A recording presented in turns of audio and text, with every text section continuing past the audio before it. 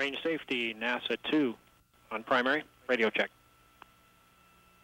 And NASA 2, Bravo safety, you're loud and clear. NASA 2, fin sweep now.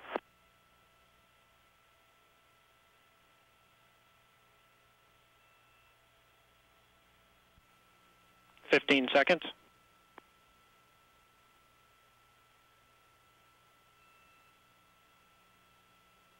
Launch on my mark. In five, four, three, two, one. Launch. Launch. Sequencer launch. reset. Good release. Ignition. Ignition. Smoothly pitching up. Guidance is on. LV is supersonic. Supersonic.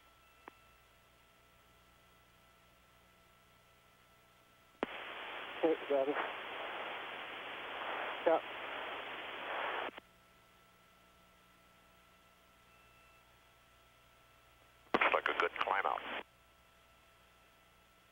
We are in the pushover to negative alpha.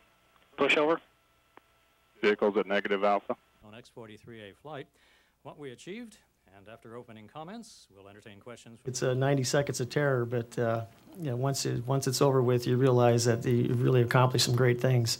We've got a great team that. I saw a hand over here. I believe uh, Mark, Dorn, Mark Mike Dornheim was second. It's, it, it'll be a long time. Uh, Like we've commented in the past, it's taken a long, it took a long time for uh, once the Wright brothers flew for people to fly across the ocean. Uh, it'll it might take you know, that long again for this technology to be applied to a commercial aircraft, but I think someday it will be there.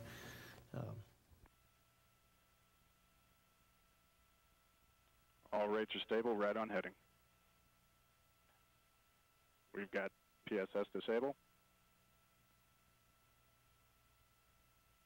Ready to set. Be stable at this time. The RV is stable at this time. That's 2 LVS, we are go